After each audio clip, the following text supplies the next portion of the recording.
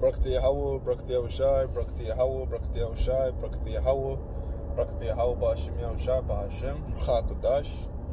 Double honor to the apostles and the elders of Great Millstone, which well. Of course, salutations to the hopeful elect out there, Akim to Zadakim, that do this thing in the utmost truth and sincerity. Um, I'm the priest Shaman. This week's topic is going to be entitled "The Majority uh, Were Blinded," you know, or simply put, they just can't get it. Now, what I'm referring to is uh, two thirds of the nation of Israel um, will forever be blind to this understanding, as, as evident as things are um, to to those that can receive things.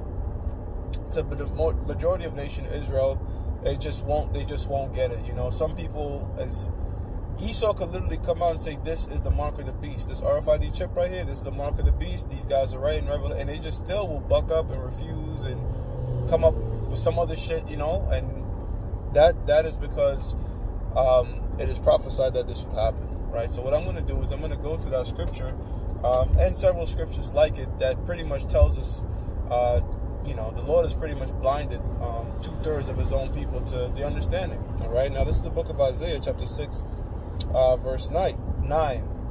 All right? Actually, let me read verse 8. Also, I heard the voice of the Lord saying, Whom shall I send, and who will, will go for us?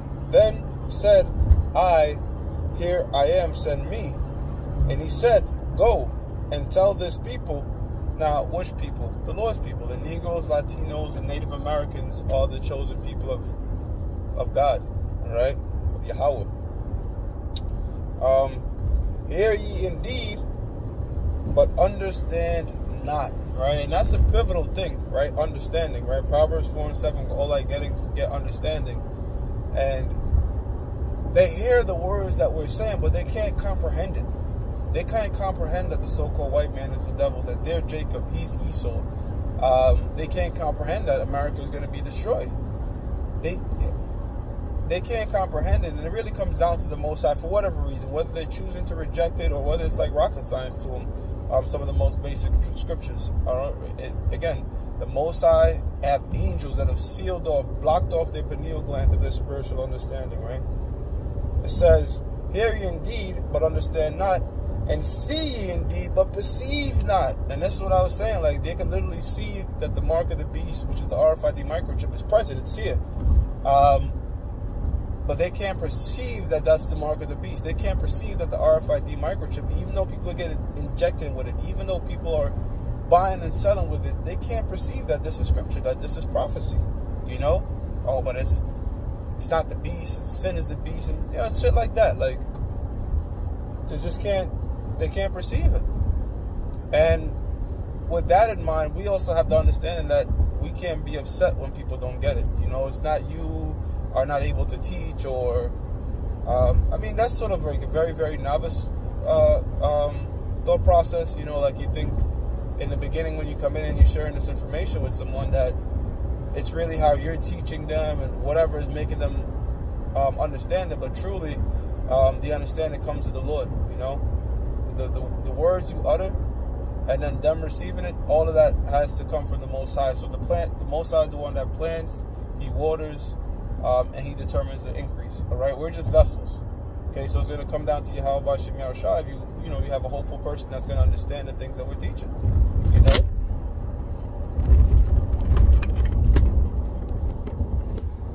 Okay. Uh, now reading on, uh, verse ten. Make the heart of this people fat. Now, when it says heart, it's not talking about the heart that pumps in your chest, right? The Hebrew there word for heart is lab. Make the heart of these people, make their mind fat, make them pretty much clog their, like, you know how, like, you have fat in your arteries and it's clogged up? Pretty much clog their minds, you know, to where, you know, nothing, uh, no new information could freely flow in, you know? Understanding can't freely flow in them. It says, and make their uh, ears heavy and shut their eyes um, so they shut their eyes. They had that movie Eyes Wide Shut. You know, our people are pretty much dead from the neck up when it comes to spirituality. Two thirds of them, at least, they can't perceive it. They can't get it. Um, right now, you know, we go out there for the hopeful elect. That's it. You know, that's how come we don't need a, a, a, a an enormous congregation, a Creflo, Creflo Dalator situation, or even a um, IUIC sort of situation. IUIC pretty uh, has a large congregation that have billboards through different boroughs and marching all throughout these different states and flying on jets to different countries. We don't need that, you know, because we understand that this thing is ultimately going to come to a finite, only a finite amount of Israelites are going to truly grasp this thing fully, you know. And I'm not saying that the ones that fully grasp it are not in the ISUPK or IUIC or these other camps, you know. Not everyone in Great Millstone is going to be of the elect. It's, you know, just being a part of Great Millstone is not the ultimate write-off. Okay, I've made it. That's not what I'm saying, all right? Um, but I'm saying a bulk of the people in, in those different congregations that are not teaching this thing correctly um, and sincerely are being uh, and, and are not sincerely but are choosing rather to be deceived okay then it's not meant for them at, ultimately at the end of the day the elect no matter where they are what whatever they into eventually they will come to the right path towards the end and be in one mind with the lord you know whether that takes an individual years and, and laboring or whether it takes them a second looking up in the chariot and just believing um, the elect of the Lord is sealed. You know, the elect of the Lord is sealed. And when we're on the chariots, we're going to be of one accord and one mind. All right. It says, "Make the heart of this people fat, and make their ears, their ears heavy, and shut their eyes, lest they see with their eyes and hear with their um, ears, and understand with their hearts, and convert and be healed." So, the Lord is telling you, look, I'm sealing this knowledge. I'm putting the seal up. I am putting the seal up um, for my from from from two thirds of my undesires right now. All right, um, for for for, for uh, prophetic purpose, because at the end of the day, the Lord loves His entire people, but you know it's set up in prophecy that two thirds of His own people um, shall not make it. You know. Um, it says, Then said I, Lord, how long? And he answered, Until the cities be wasted without inhabitants, and the houses without men, and the land be utterly desolate. Right, so I, they're going to get it after the destruction. As we've been saying, um, going all the way back to our apostles and their elders and elders. After the nuclear destruction, the majority of Israel will die and the remnant shall bring them back in the regeneration. And when they come back, then they shall fully understand and comprehend everything and not bug up and be demons. Um, but until then, um, we're going to have to deal with nigger, niggers and niggertry. It says, And the Lord had removed men far away. Okay, so let me um go to Romans 11 and 7. Romans 11 and 7. Let's go to Romans. Let's go to Romans 11 and 7.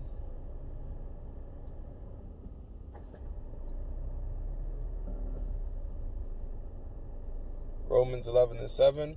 What then? Israel hath not obtained that which he seeketh for, but the election hath obtained it, and the rest were blinded. So, what is? What is Israel seeking for? Israel is seeking for answers um, the truth, right? Israel is seeking for the truth. That's how come they, a lot of them go off into different philosophies and follow a lot of. Compared to any other nation, if you if you look at the nation of Israel, we venture off into the most different philosophies compared to any other nation. You'll see a nigga in any dressed in. This how come it tells you that they they wore um they put on aprons and strange apparels and stuff like that. That that goes into the philosophies and doctrine. You know, it's it's it's, it's compared to, to garment. You know, scriptures tell you about putting on righteousness like a robe.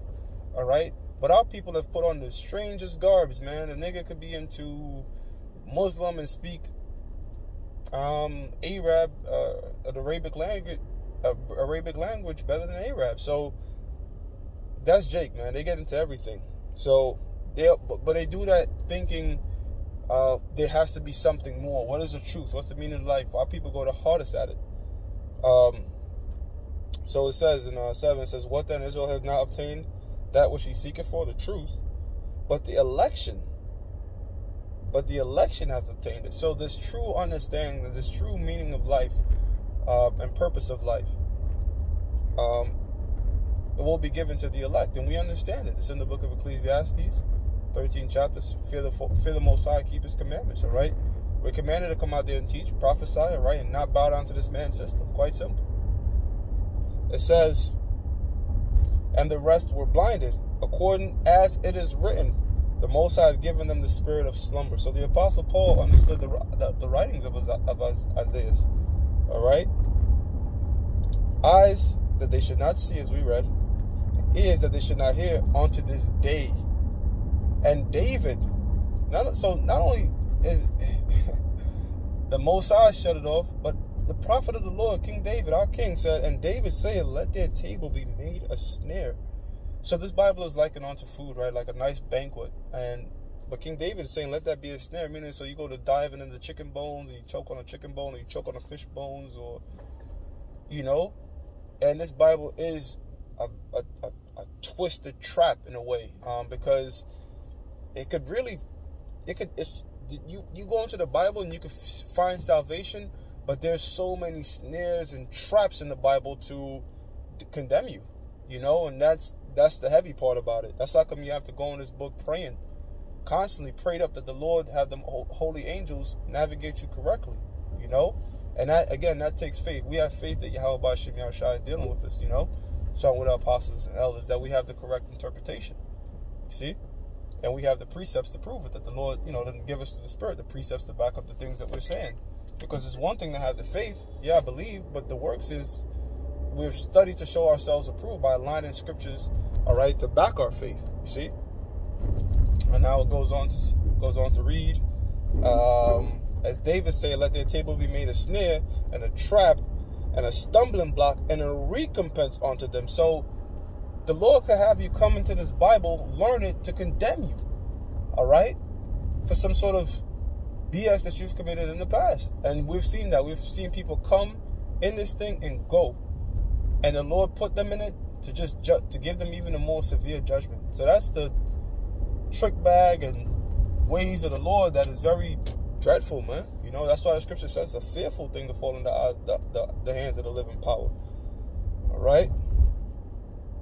Um, it says, Let their eyes be darkened that they may not see, and bow down their back all way.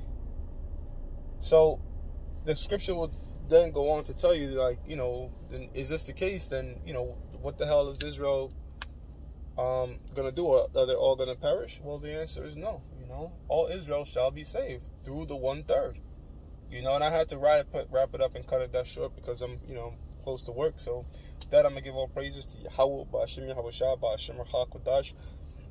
That belongs to the apostles and the elders of Great Millstone, which you well. Salutations to the hopefully elect out there, you Akim to Zadakim that do this thing in the most truth and sincerity. Shalom.